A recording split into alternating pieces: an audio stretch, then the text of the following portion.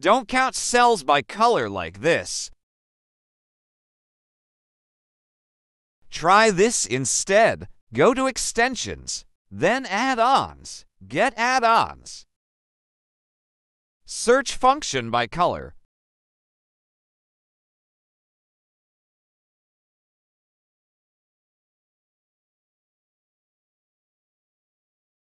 Type in this function.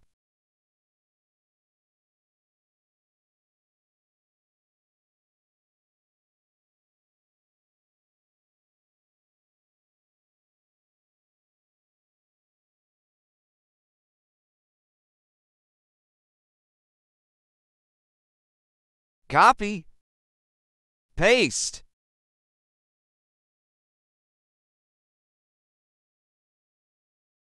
Screenshot now. Drag the formula over. Like and follow for daily tips.